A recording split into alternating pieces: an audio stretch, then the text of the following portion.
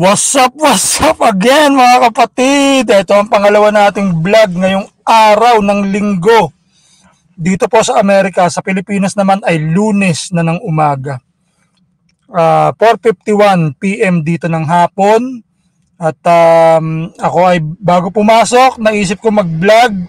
So katatapos ko lang yung tungkol sa intellectual property rights uh, intellectual property law, and etc. etc. Ngayon naman ay sa service tayo sa kalookan ng sa pangunguna ng NCR ng SRB Inc.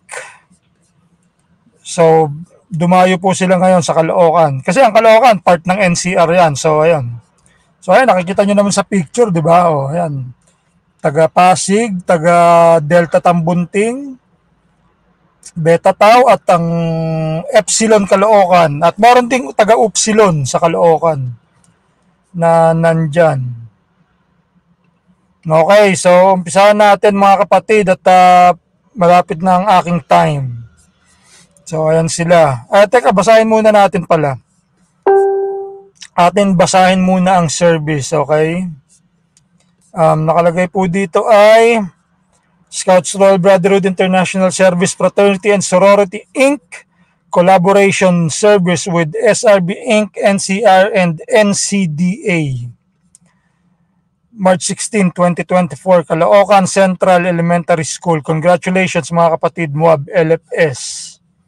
Okay, so ito po sila. Ayan, si uh, sis um, si Sis Beng ng de, ng um, Upsilon sa Caloocan. So ayan nga po sila no.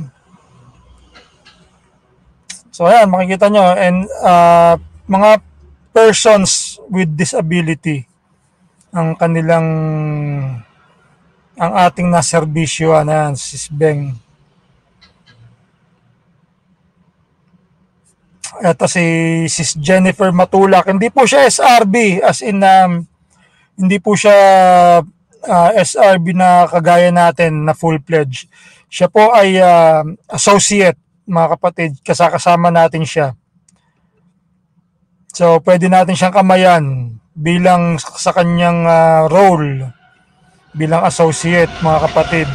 Ibig sabihin po kasi ng associate, uh, para kang naglilingkod para sa kapatiran kahit hindi ka dumaan sa prosesong kagaya natin na napalo, na dumaan tayo sa maraming pagsubok, 'di ba? Ta sa matagal na tayong member, 'di ba?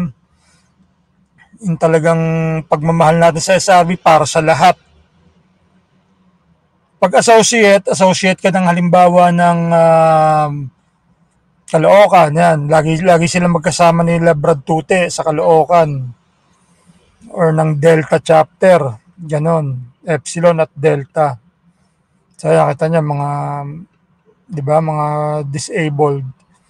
Meaning may mga kakulangan sa either sa katawan or sa isip.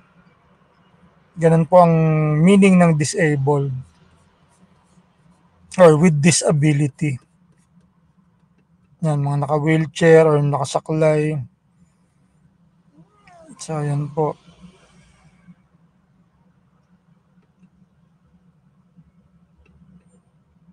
So meron silang kasama no katuwang na grupo.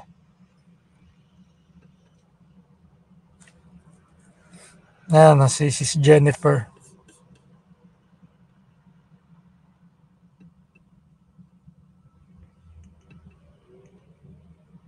Ah, si Brad Tute na napakasipag. Brad Tute, nakangayayat ka. Parang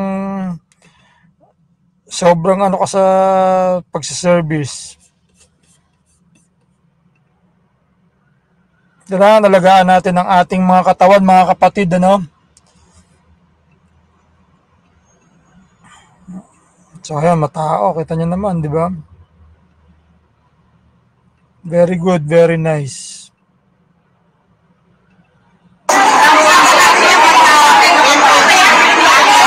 Ayan ang video. Matapos ang lahat, na sa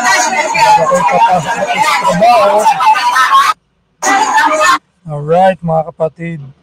Very good job. So, ayun po. Saglit lang talaga dahil ako'y ah, magtatrabaho na. So, congrats po NCR at sa Caloocan, Kamanaba, sa serbisyong napakaganda. Ah, dumami pa sanang matulungan natin mga PWDs, mga kapatid. Ako may anak ako na PWD siya. Ah, kailangan din namin ng tulong pero hanggat maaari, hanggat kaya ko, eh, ah, kakayanin ko. Pero syempre, kung pag, kapag ka para sa anak ko, merong project ang gobyerno para sa anak ko, or kung merong service na kagaya niyan, eh tatanggapin ko yan dahil para sa anak ko yan. Lahat gagawin ko para sa anak ko. Um, hindi naman tayo mayaman eh, di ba? At saka kung project ng gobyerno siya, meaning uh, being taxpayer and voter, uh, anong tayo? Yun ay para sa atin talaga. Hindi natin dapat tanggihan. O wag tayong mapagmataas. Ah, hindi porket nasa abroad po mga kapatid ay marami ng pera. Maniwala po kayo sa akin. Hindi po marami ang pera ko. Simpleng trabahador lang po tayo. Pero you know, masipag nagsisipag tayo para sa pamilya, para sa kapatiran. Um, dahil mahilig tayong tumulong. Pinalaki tayong matulungin ng ating magulang at um, ng mga aral ng Biblia, ng Diyos. Mga laki tayo sa salita ng Diyos. Kaya ang pagiging matulungin ay nasa aking isip at puso. Kahit wala pang SRB, ah, lalo nung naging SRB, dahil lalong dumagdag, nadagdagan ng ating pagiging matulungin ang mga aral. Di ba? Kaya tayo, lagi tayo mag-aaral mga kapatid. Ito ang inyong vlog. Paalam!